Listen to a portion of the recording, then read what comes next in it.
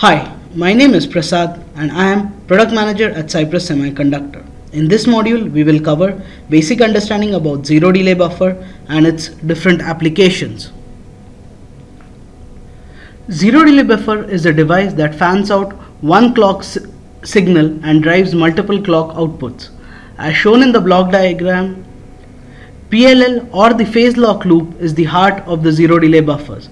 The PLL uses a reference input and a feedback input. The feedback input is driven by one of the outputs. The phase detector adjusts the output frequency of the VCO so that its two input have no phase or frequency difference. ZDBs are used in applications which requires tight specs of output to output skew and input to output skew. Cypress is the industry leader in zero delay buffers. As shown in the product tree, we have a very broad portfolio. We have standard buffers which allow clock distribution up to 9 output and support frequency up to 133 MHz. We have 5 output and 9 output enhanced performance buffer which offer superior jitter and skew and support output frequency up to 220 MHz.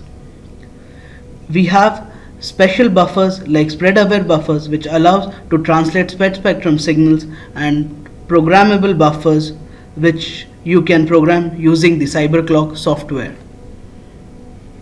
We will now discuss the different features of zero delay buffer and its application using CY2308 as an example.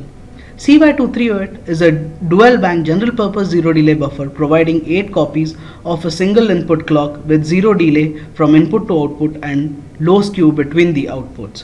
The different features of zero delay buffers are 1. Zero delay buffers are essentially open loop devices.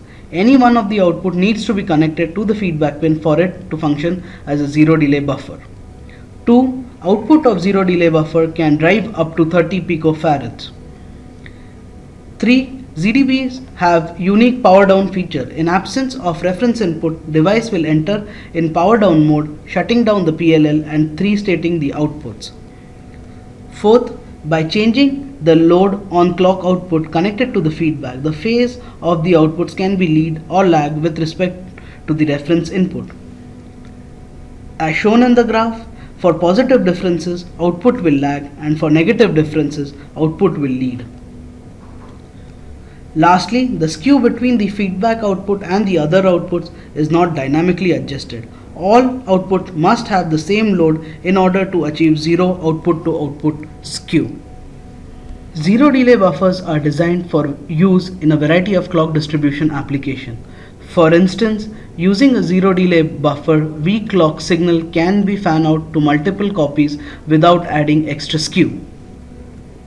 Zero delay buffers can also be used as level shifters. Reference input of a zero delay buffer can accept 5 volt input when operating at 3.3 volt.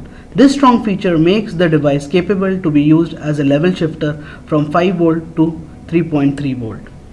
This level shifting function can also be used for EMI and EMC reduction. EMI and EMC are caused by high, high energy electromagnetic fields traveling around the system. As shown in the figure, by using level shifting function of the ZDB, the 3.3 volt signal are distributed over long transmission lines instead of 5 volt signal and the energy is generate in the generated EMF is substantially reduced. ZDBs can also be used in reducing output to output skew by ganging the outputs. CY2308 has specified output to output skew of no greater than 250 picosecond. An innovative approach to reducing output to output skew is to gang the multiple outputs together. As shown in the figure, three outputs are shown ganged together and then distributed to three different loads. This will reduce the skew between the clocks delivered to those loads. CY2308 has an open feedback path which is simply closed for zero delay buffer operation. However, the feedback path can be used for other interesting applications such as generation of early clocks. Certain chipsets require some copies of the host clock which are early as compared to the rest of the copies. By using a discrete delay element in the feedback path, we can generate 8 outputs which lead the input signal.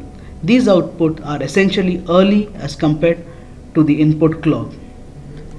Another interesting application is a frequency multiplier. By adding a divider or a multiplier in the external feedback path, CY2308 can be used as a frequency multiplier. This concludes the training on zero delay buffers. For additional support, you can visit our website www.cypress.com/support. Else, contact your local sales representative or authorized distributor. Thank you.